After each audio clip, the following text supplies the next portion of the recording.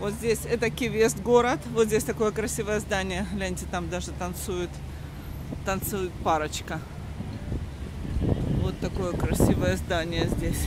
Кивест город, самая южная точка Америки. Ничего здесь такого особенного нет, просто туристическое место. И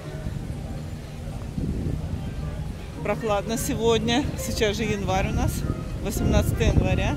И где-то, наверное, градусов 18-17, не больше. Свежо. Вот. А вот это такое старое маркет, тоже старое здание. Это очень старый город, древний. Здесь находится музей Хемингуэя.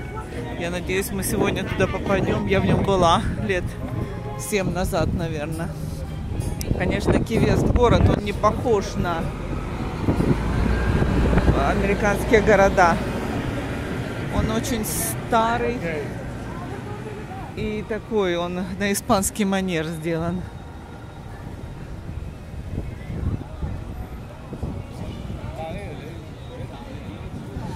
Он мне напоминает где-то Мексику, вот так вот, вот такой вот бардачный такой город. Что-то он мне напоминает.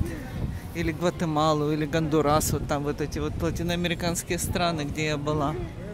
Ой, Ой, наступил. Это музей разбитых кораблей, шипрек. каких кораблей? Разбитых. А, разбитых кораблей музей? О, Остатки. ага. То, что подобрали после...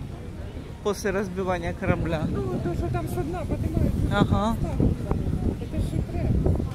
Вон, смотри, там сага, там же... Они специально под старину так сделали, да? Музей разбитых кораблей. Боже мой.